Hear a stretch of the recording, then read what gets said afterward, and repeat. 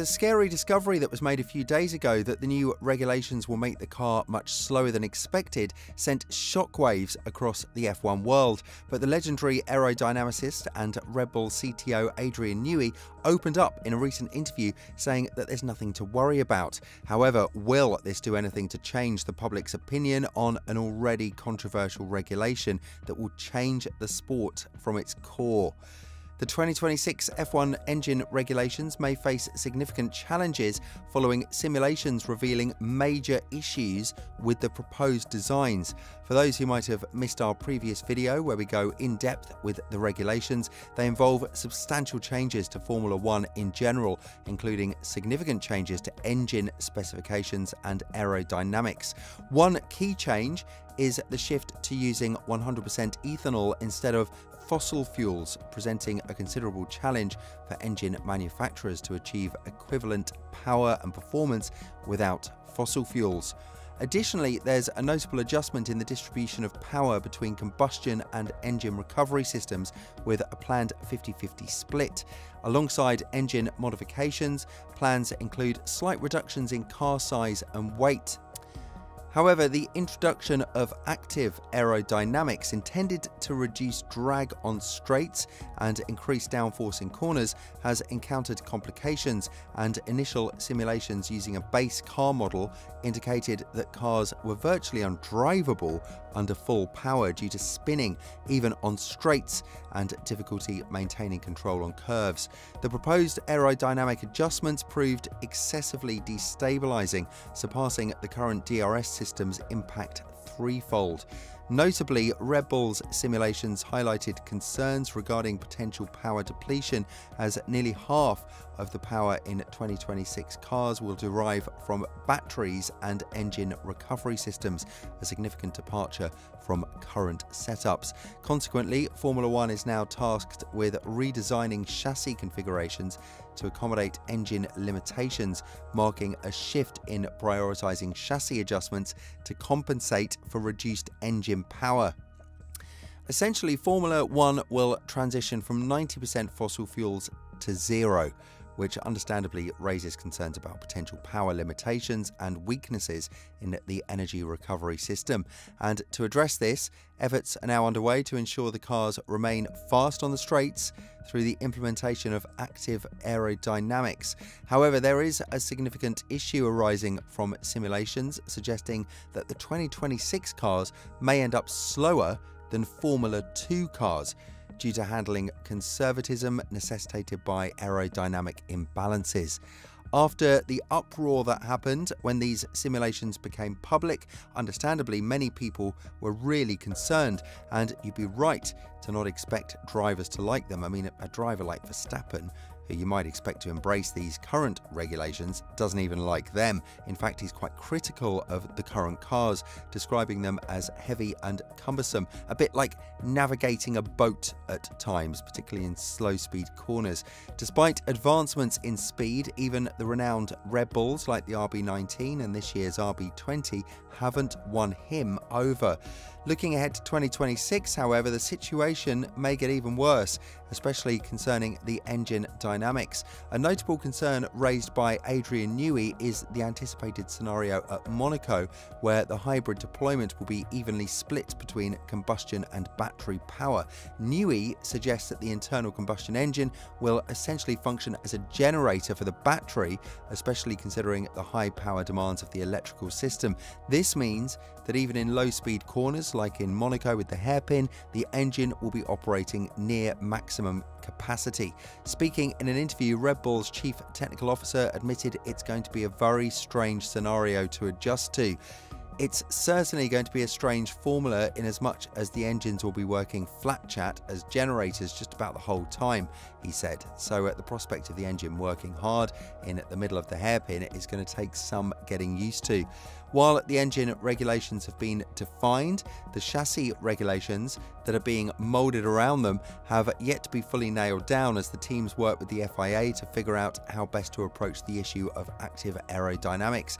In order not to encounter too large a performance drop, the cars will need active aero to work with the new engine rules, and the initial simulation work done on this has suggested a more complex front and rear wing approach will be needed in order to ensure car stability.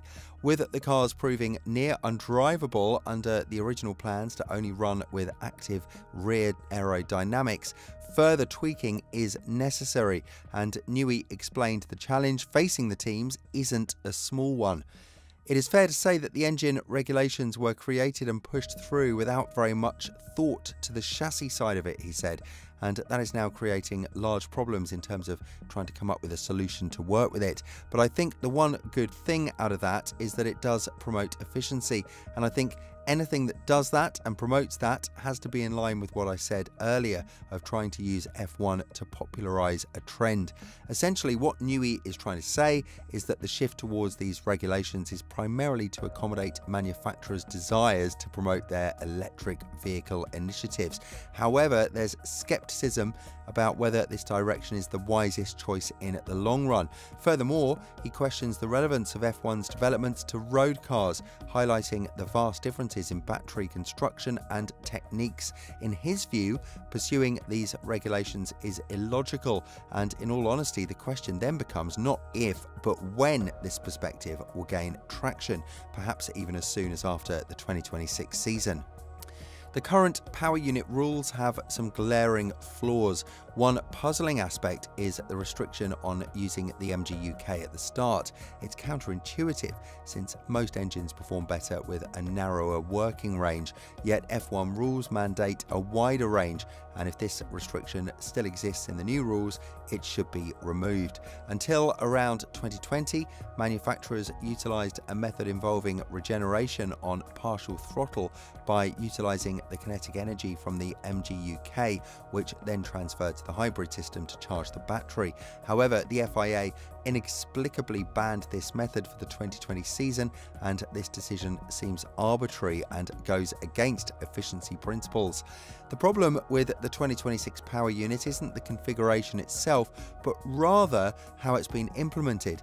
The regulations have been excessively simplified, removing crucial components such as expensive sensors, which ultimately hampers efficiency, and instead of a drastic overhaul, a more gradual approach, incrementally increasing the size of the MGU-K and relaxing battery restrictions may well have been wiser.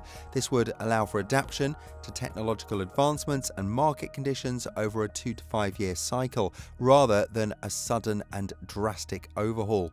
Furthermore, catering to Audi's demands was a significant misstep and ultimately F1 should prioritise the sport's integrity and technological advancement over appeasing other engine manufacturers.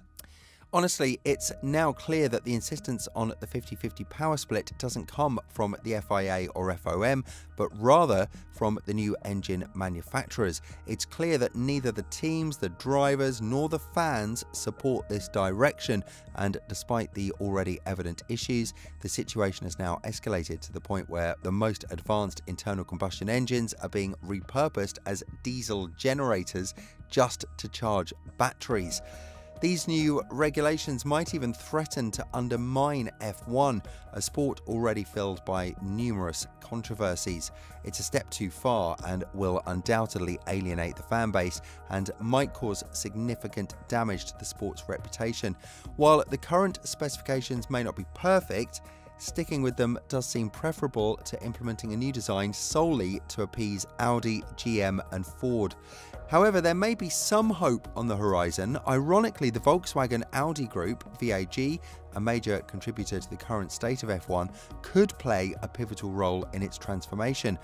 Their disillusionment with electric vehicles has led them to invest in alternative technologies like e fuels derived from air and waste, and they anticipate that governments will recognise the limitations of electric infrastructure and embrace alternative solutions. Whether their predictions prove accurate remains to be seen. Regardless, there is a glimmer of hope that their shift in focus could lead to a new engine formula in F1 one that prioritises performance and sustainability without sacrificing the thrill of racing. However, as long as F1 remains heavily reliant on car manufacturers' funding, substantial change may be hard to achieve. Do you think the new engine regulations will undermine and make Formula One worse than it is now? We'd love to know what you think. Let us know your thoughts in the comments below, and we'll see you in the next video.